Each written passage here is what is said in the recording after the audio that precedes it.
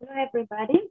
Thanks, uh, Hannes and Eugenia, for organizing this conference and for inviting me to speak here. Since uh, Hannes concluded his presentation with a koan, I decided to begin mine with a dance quotation from the High Master Bodhidharma, which uh, looks like a koan.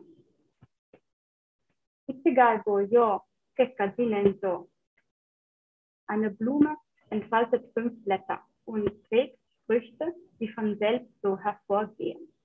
A flower five petal opening. Effects naturally are realized. One blossom opens five petals. Fruit form naturally. Un fiore si chiude in cinque petali e dà frutti naturalmente. This is the opening line of of the Kuge chapter of Dogen Shobogenzo, which appeared for the first time in 12,043. My purpose in this presentation today is to analyze and discuss this image of how a flower opens up and falls away. I am especially interested in the idea that this process of coming to be and ceasing to be contains within it every single detail of the entire world. The flower expresses the whole world through its uh, non-dual merging relationality. In this sense, the term relationality addressed at the same time both the radical interdependence and the absolute self-sufficiency of the flower and the world, and really of all existence.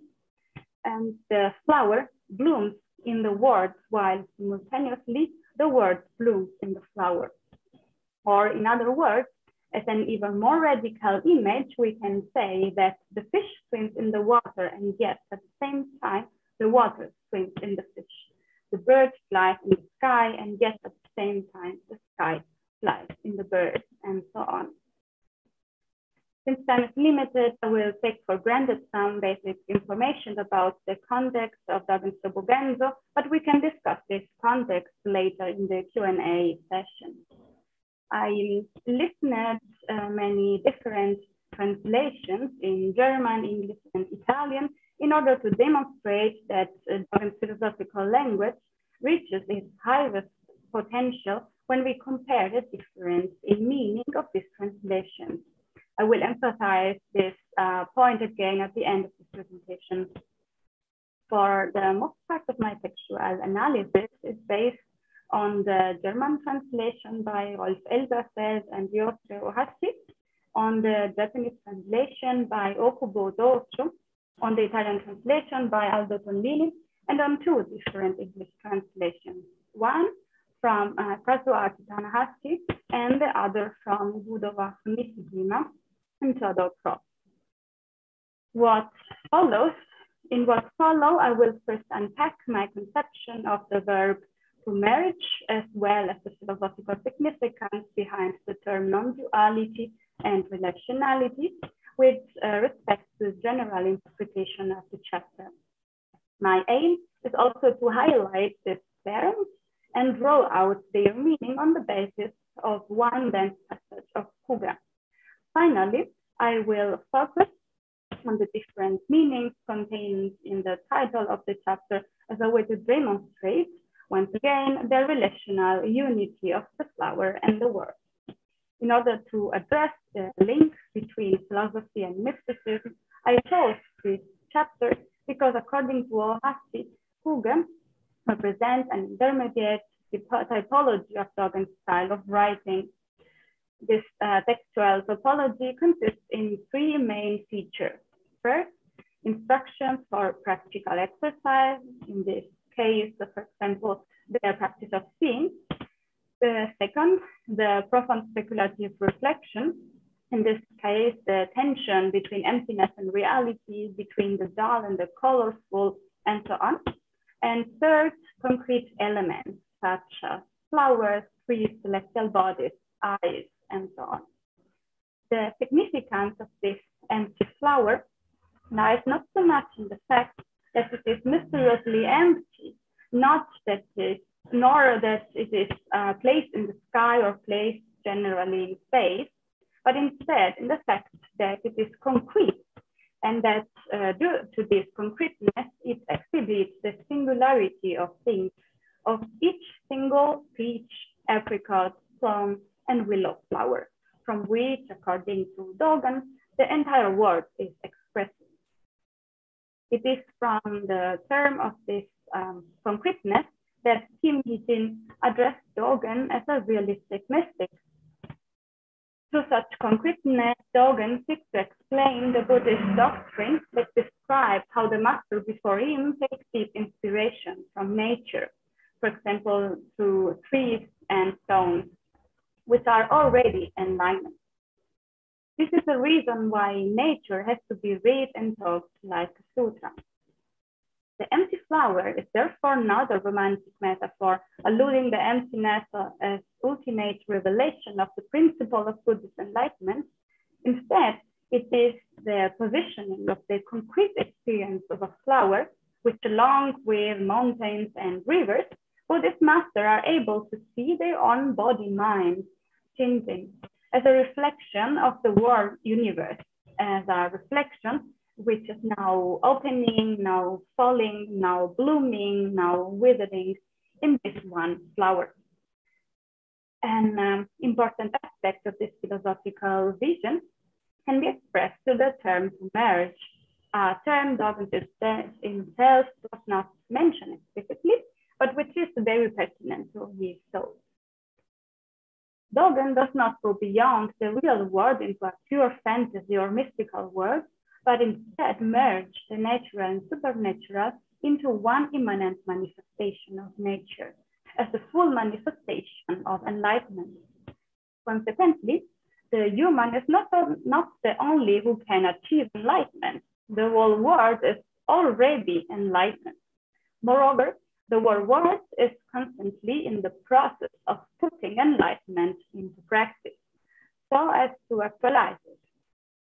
In some of the richest and densest passages of Kuge, Dogen determines why this Buddhist doctrine should not stop at the proclamation of the emptiness and illusoriness of worldly manifestations, but should instead go beyond this empty and partially deteriorating view of reality, or better should return back from emptiness.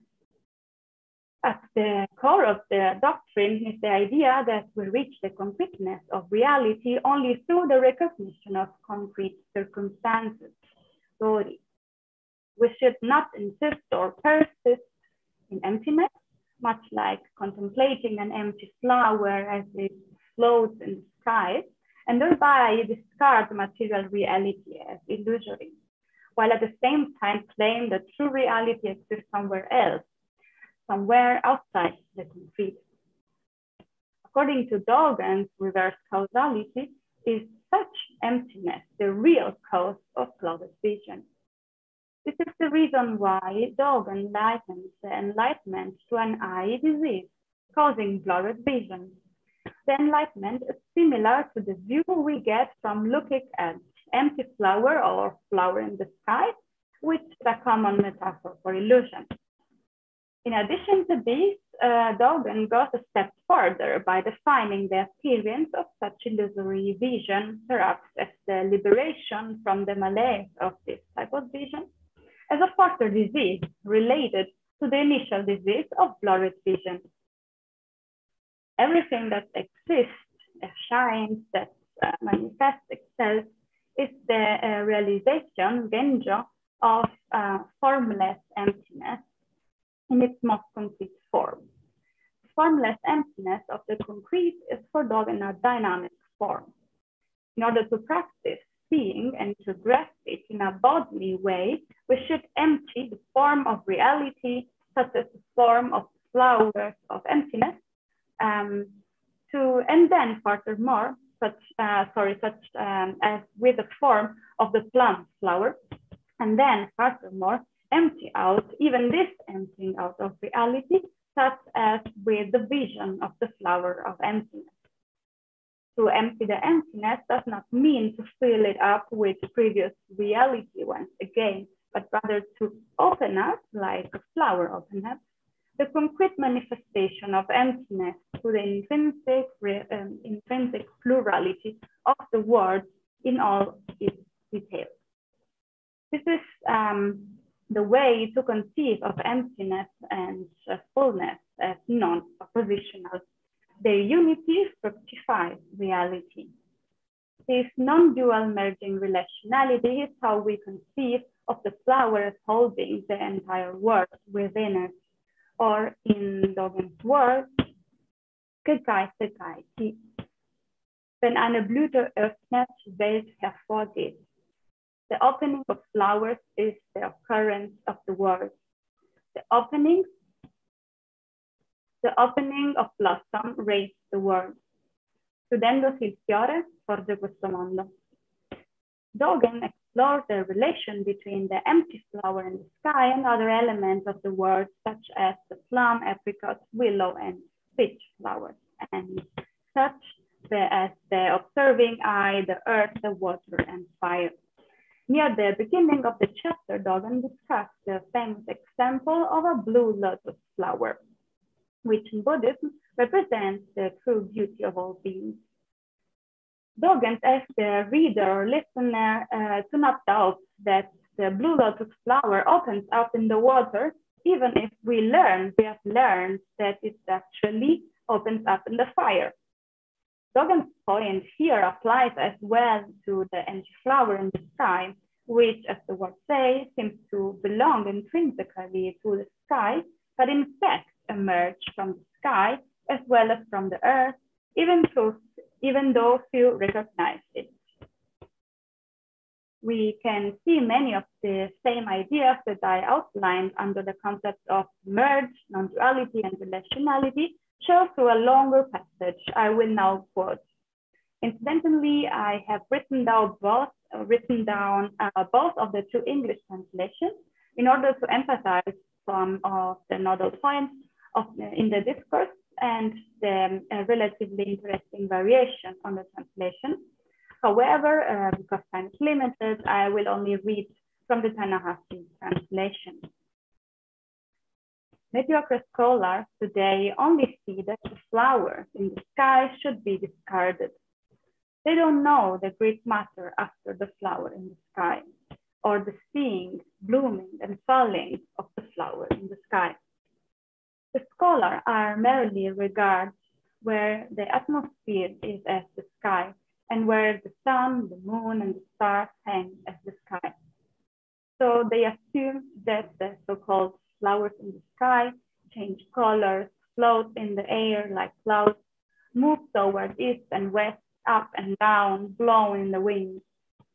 They only think that flowers in the sky exist due to obscured eyes, and they do not realize that flowers in the sky cause obscured eyes. Know that a person with obscured eyes in the Buddha way is a person of original enlightenment, of wondrous enlightenment, of all Buddhas, of the three realms of Buddha going beyond Buddha. Do not misunderstand that obscuring is illusion. Do not think that there is reality other than that. Such a point is a lesser view. If obscurity and flowers in the sky are illusion, a view such as to create and be created is also illusion. If everything is illusion, truth cannot be established. If there is no truth to be established, the point that obscurity and flowers in the sky are illusion cannot be established. In this passage from the Kuge, we notice a multi-sided merging the cloudedness of the view, the truth itself, the person of obscured eye, and Buddha all merge together with the consequence that no distinction is able to hold. We notice the non-duality of the celestial bodies and of the sky and space in which they move. And we also notice finally the relationality that follows on the one hand from the impossibility of establishing truth as well as illusion, but also, on the other hand, from the rejection of attachment itself. This rejection of the attachment itself, of the uh, attachment is a reflection even of the understanding of emptiness, a rejection even of the understanding of emptiness as the background of the manifestation, for example, of celestial bodies and colorful flowers. Dogen's foreground is relationality from the very first line of the text by using the Bodhidharma as a mouthpiece to express how the flower opens up, opens up and naturally bears fruit. Only by way of artifice is possible to keep the concept of flower separate from the concept of uh, fruit. We already saw um, Ikigai yo Kekkatinento. One blossom opens five petals, fruit forms naturally. The empty flower that gives the title to the chapter of the Shobogenzo actually invites, uh, invites us to move away from it, to detach from it, and to get closer instead to the intrinsic plurality of concrete reality. It is in this sense that Dogen, through the thematization of the flower, presents a phenomenology, or better, a phenopraxis uh, of the entire world. Dogen emphasized that um, this intrinsic plurality of, um, of um, uh, sorry, Dogen emphasized this intrinsic plurality of reality through its use of language in its various dispositions. As we can see when we compare to English translations of the dense passage I quoted above, very different stories can be told and very different association and combinations told depending on the nuance of the original text and how it is enhanced and developed in the translation. Nevertheless, although the story appears condensed in the original text, we can clearly distinguish them based on the different translations. It is possible directly from the title of the chapter to highlight, to highlight the myriad of meanings of the story produced from the original as well as the translation. This possibility comes about uh, because the expression Kuge already contains different nuances and various combinations. First of all, in this Sino-Japanese expression, there is no indication of the singular and plural distinction. Because of this, we do, we do not know if Dogen is referring to many flowers or only one flower, maybe a singular tantum, so one for all, or really one flower. The same ambiguity applies to skies and spaces. Kuge is composed of two Japanese kanji. The second character can mean blossom, blüte, bocciolo, or flower, blume, while the first translates as sky, as open space, or as the equivalent of the Sanskrit sunyata, emptiness a term well known in Buddhist context. The combination of the two characters together can be translated in various ways, as I have indicated throughout uh, this presentation. Elberfeld Ohashi translates uh, Kuge as empty blossom, leere Blüte, and sometimes as empty flower, uh, empty flower of the sky, leere Himmelsblume.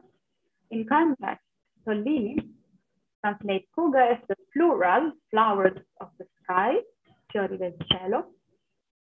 Um, however, in a footnote attached to the title, he lists a second possible translation as flowers of emptiness, fiori del vuoto.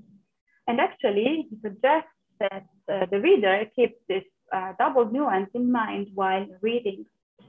Tanahashi translates Kuge as flower in the sky, sometimes with a nuance of flower of the sky, while Nishijima Cross translates Kuge as a flower in space. We conclude from the various possible connotation of this translation that the emptiness of the flower does not refer to the absence of features, uh, of features in the flower in the same way that the space of Ku does not indicate some kind of containing space, which seems to be completely empty, and for this reason can be filled up with the words in all of its details. Um, space for Dogen is not a container, but rather an existentially lived dimension of realization and transformation. All of these translations are equally correct, or equally incorrect, even though they tell different stories by emphasizing one or another aspect contained in the original expression, mm, only in one. Similarly, Dogen also tells many stories at the same time. To say this is not to underestimate the content of its philosophy due to the lack, to lack of precision, because his work offers a polyphony of meaning, of meanings. He requires that his reader follow different articulation and sound at the same time, sounds which could perfectly subsist um, as a melody without the other. We can debate uh, whether this symphonic metaphor is appropriate for what Dogen attempts to express, but interestingly, rather than creating confusion, this polyphony clearly specifies that uh, the context of Dogen's discourse and even makes it unique so that he actively performs in his text what he attempts to explain in it. This kind of clarity and uniqueness does not simply follow a linear and, speak, in-depth logic that qualifies by meticulously excluding what does not belong in the context and thus reduce the scope of the treatment. Instead, uh, Dogen's clarity comes from the constellation of differences held together as one type of knowledge. It is precisely because of this kind of clarity that um, knowledge for Dogen can only be practical bodily, also in the case of language and dynamics.